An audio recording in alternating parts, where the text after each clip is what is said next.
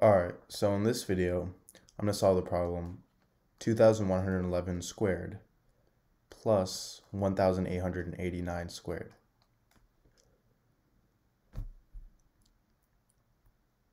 So to solve this, I'm going to first rewrite this as 2000 plus 111 squared plus 2000 minus 111 squared because 1889 is 2000 minus 111 and 2111 is 2000 plus 111. Now, if I have something in the form a plus b squared, this is equal to a squared plus 2ab plus b squared. And if I have something in the form a minus b squared, this is equal to a squared plus b squared minus 2ab. So if I add these two together, which is what I'm doing now, I'm going to get these two cancel out. So 2a squared plus 2b squared.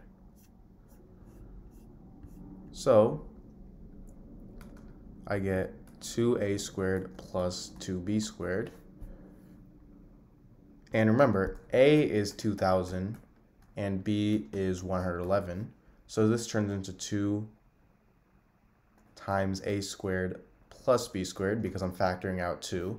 And this turns into 2 times 2000 squared plus 111 squared. Now, 2000 squared is 4 million, so I get 2 times 4 million. And 111 squared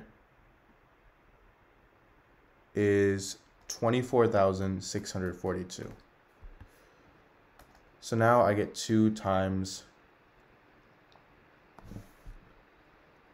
4 million plus 24,642, which is equal to 8 million plus 24,642. Because this is 111 squared is 12,321. Now, if I add these, I get 8,024,642. So this is my answer.